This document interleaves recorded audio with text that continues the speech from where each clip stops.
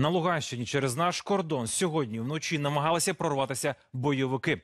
Прикордонники зупинили три камази в супроводі Ниви, які штурмували з російського боку кордон України.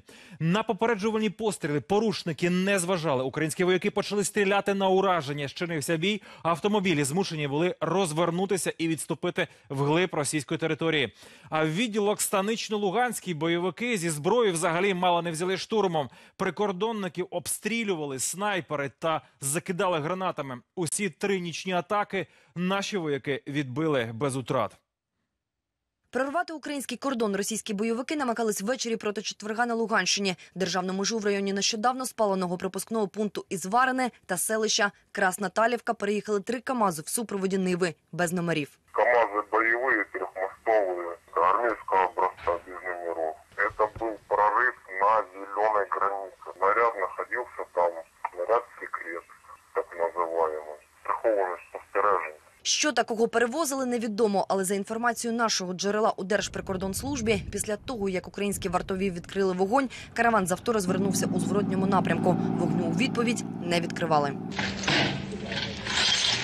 Такий зараз вигляд має приміщення прикордонного відділу Станично-Луганське, що розташований в межах селища Станиця Луганська за 14 кілометрів від обласного центру. Близько 30 озброєних бойовиків під'їхали сюди близько 11 вечора і висунули ультиматум скласти зброю та здатися. Після відмови вже о пів на першу ночі розпочався штурм. Закидали ручними гранатами, стріляли з гранатометів. По бійцях українського підрозділу вели прицільний вогонь снайпери, що засіли в кількаповерхових будинках. Вони розташовані за сотню метрів від прикордонного відділу.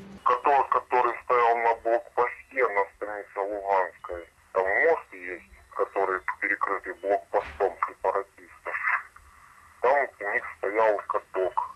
Вот этот каток они пытались использовать для того, чтобы бить ворота подразделения. Упродовж ночі українські прикордонники відбили три атаки терористів. За підтвердженими даними, двоє українських прикордонників зазнали поранень. Одного контузило. Наше джерело стверджує, приміщення захищали мало не голіруч. На подразделениях нету бронежилетов вообще. На Изварина, на Краснодольной, если не ошибаюсь, 10 штук. По станице вообще их нету, если сейчас не, не перекинули. По Таловке вообще их нету. По северу ни- ничего не могу сказать. По северу там, на- наверное, все хорошо, потому что там есть войска. Нині в станиці Луганській готуються до чергових штурмів. Як стверджують джерела, сьогодні в захопленому бойовиками приміщенні Луганської СБУ сепаратисти поповнили арсенал з коктейлями Молотова. Ольга Максимова, новини 2+,2.